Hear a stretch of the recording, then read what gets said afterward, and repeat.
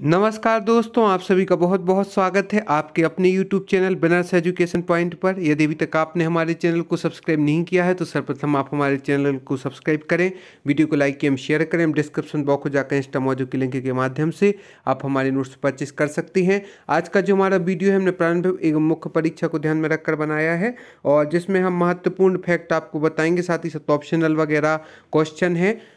Twenty five M C Qs हैं, जो कि आपके लिए बहुत ही महत्वपूर्ण है और M P P S C प्रारंभिक परीक्षा दो हज़ार इक्कीस के लिए बहुत ही उपयोगी हैं। चलिए स्टार्ट करते हैं आज का हमारा पहला प्रश्न है, नवाखानी पर्व किस जनजाति से संबंधित है? इसके ऑप्शन है A Gond, B Bhil, C Baiga, D Bhariya. तो इसका राइट आंसर है दोस्तों, ए गोंड। नवाखानी पर्व जो है, वह गोंड जनजाति से संबंधित है। कई बार अभ्यर्थियों का कहना होता है कि जो ऑप्शन होते हैं, उनको देखकर अभ्यर्थी कंफ्यूज हो जाते हैं। तो ऐसे में हमें हर चीज़ का व्यवस्थित याद रखना होता है कि जो नवाखानी पर्व है, वह गौंड जनजाति से संबंधित है। B H E L Bhil को महारत्न का दर्जा किस वर्ष दिया गया है? ए 2010 बी 2012 सी 2013 डी 2015 तो इसका राइट आंसर दोस्तों बी 2012 में महारत्न का दर्जा दिया गया है।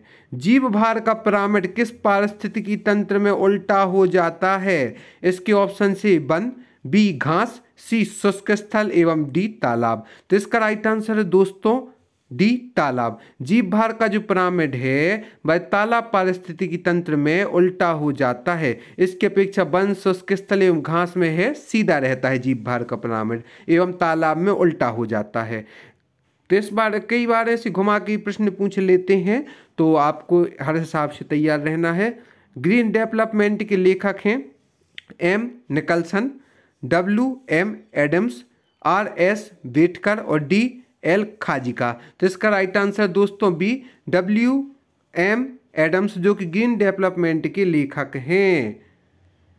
इसके बाद का जो महत्वपूर्ण प्रश्न है, सिंधु सभ्यता के संदर्भ में कौन सा कथन सत्य नहीं है? आपको क्या ध्यान देना है? सत्य नहीं है, ऐसे कूट वाले प्रश्न एमबीपीएससी 2020 में भी पूछे गए हैं और इक्कीस में भी पूछे जाने की शत प्रतिशत संभावना है। तो सिंधु सभ्यता के संदर्भ में कौन सा कथन सत्य नहीं है? पहला है इसके ऑप्शन से पहला है ए, मातृ देवी की उपासना का प्रचलन, दूसरा प्रमुख फ़सल गेहूँ और चावल, तीसरा पर्दा प्रथा व वेश्यावृत्ति का प्रचलन।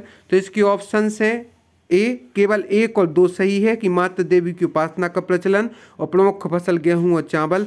बी, एक, दो, तीन, सी, केवल दो और डी, केवल तीन। तो इसका राइट आंसर है दोस्तों, सी, केवल दो।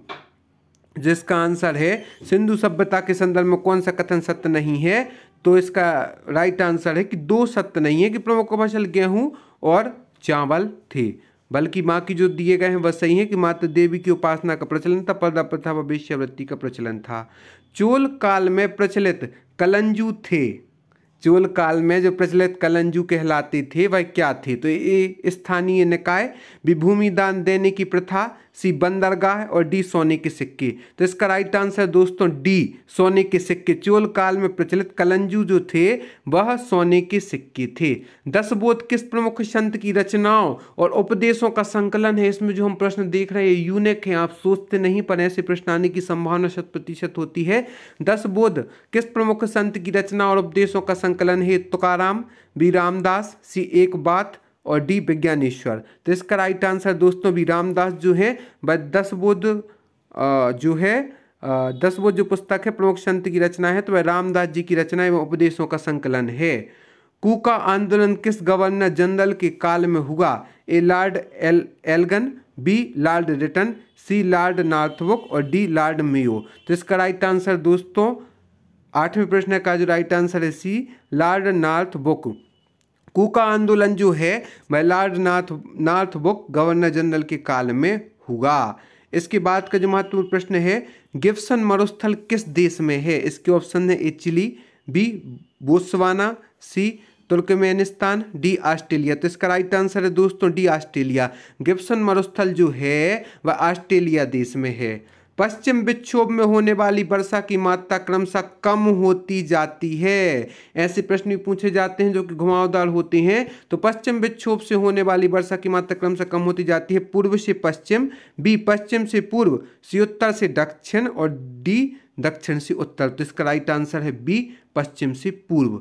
पश्चिम विक्षोभ से होने वाली वर्षा की मात्रा क्रमशः कम होती जाती है पश्चिम से पूर्व की ओर। प्रतिष्ठित नासा कार्यक्रम पूरी करने वाली पहली भारतीय कौन है? जाहवी डांगेती बी अंकिता, रैना, सी, रिया भाटिया और डी, अमनदीप कौर। तो इसका राइट आंसर दोस्तों ए, जानवी डांगेती। प्रतिष्ठित नासा कार्यक्रम पूरी करने वाली पहली भारतीय हैं जानवी डांगेती। गरुड़ ऐप किसके द्वारा जारी किया गया है?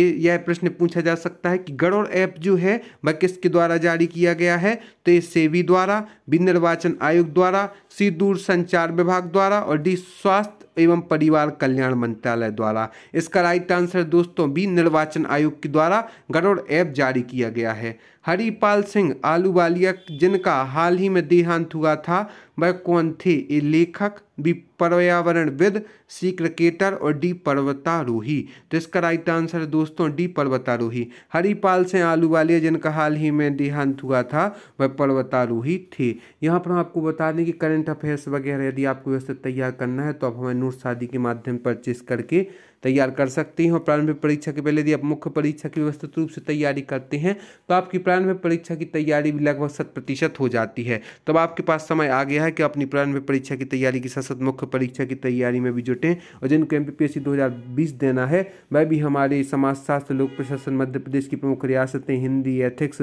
सोशल आदि सभी सब्जेक्ट के नोट्स परचेज कर सकते हैं, जो कि हैंड रिटर्न है हम टॉपर्स के द्वारा बनाए गए हैं। अमर जवान ज्योति को स्थानांतरित कर किसकी प्रतिमा स्थापित की जानी है? A. Veer Savarkar, B. Vallabh Bhai Patel, C. बाल गंगाधर तिलक और डी. सुभाष चंद्र बोस। इसका राइट आंसर दोस्तों डी. सुभाष चंद्र बोस। अमर जवान ज्योति को स्थानांतरित कर सुभाष चंद्र बोस जी की प्रतिमा स्थापित की जानी है। जागरूक वोटर अभियान का प्रारंभ किसने किया? A. Facebook, B. Twitter, C. Instagram और डी. रिलायंस जियो। तो इसका राइट आंसर है दोस्तों बी.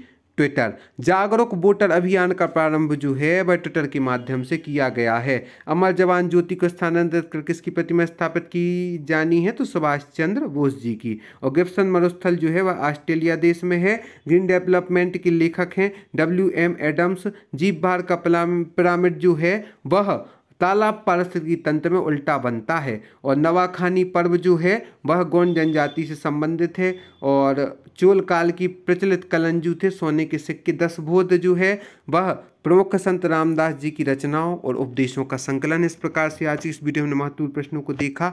हम आशा करते हैं आगे भी आप हमारे साथ ही जुड़ी रहेंगे और यदि अभी तक आप हमसे नहीं जुड़े हैं तो फेसबुक यूट्यूब इंस्टाग्राम टेलीग्राम आदि के माध्यम से भी जुड़ सकते हैं। अपनी तैयारी को सुचारू रूप से कर सकते हैं। आप सभी को बहुत बहुत धन्यवाद हमारे इस वीडियो को देखने के लिए। हम आशा करते हैं आगे भी आप हमसे जुड़े रहेंगे और प्रारंभिक एवं मुख्य परीक्षा इंटरव्यू की तैयारी हमारे माध्यम से करेंगे। अन्य परीक्षाओं के लिए भी उपयोगी है। धन्यवाद।